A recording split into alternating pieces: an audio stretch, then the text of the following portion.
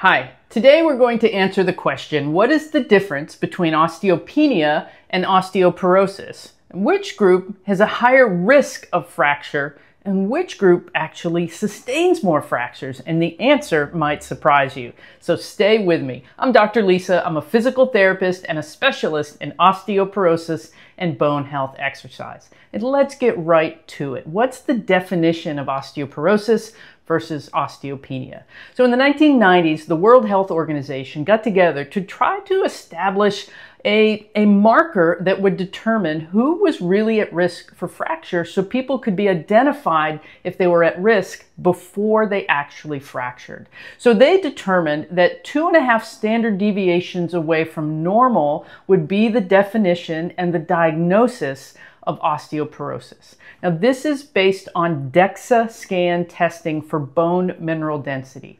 And we'll use this as an example for postmenopausal females. And the comparison is to a 30 year old female with normal bone density.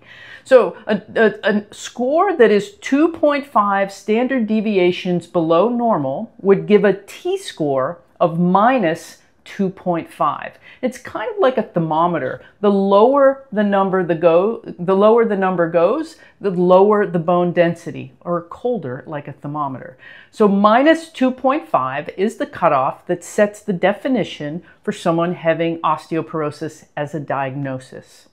Now, before that occurs, as someone is losing bone density, then the first score that determines osteopenia is minus one.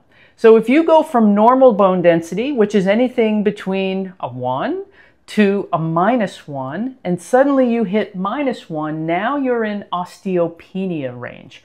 Minus 1 to minus 2.4 is osteopenia. This is a precursor to osteoporosis.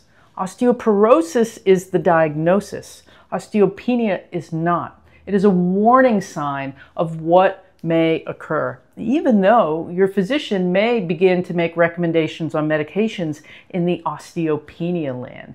There is some understanding of treatments and modifications and lifestyle and exercise that you can make that can change and modify that score.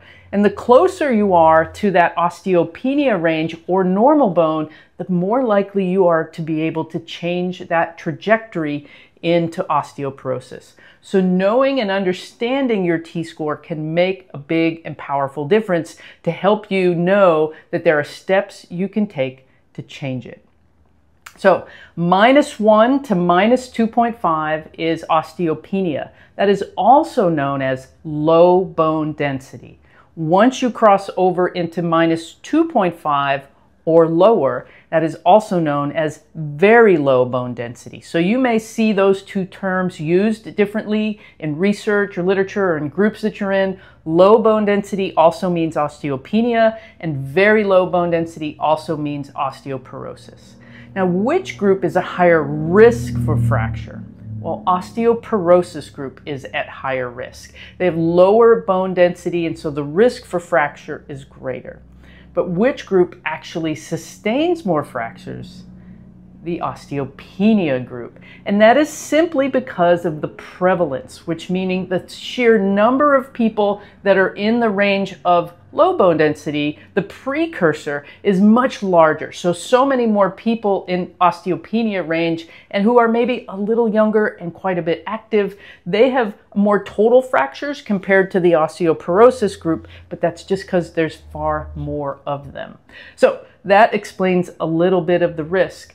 I specialize in teaching osteoporosis and bone health exercise. So the earlier where I can work with a client and teach them the right exercises, the sooner we can make a difference in helping them prevent falls and prevent fractures, improving their bone density and their bone quality. Exercise can make a huge difference. The right type of exercises that targets the muscles along the spine, the core, working upper body and lower body, and avoids exercises that may be unsafe or risky. I share lots of free content on my YouTube channel just for this purpose.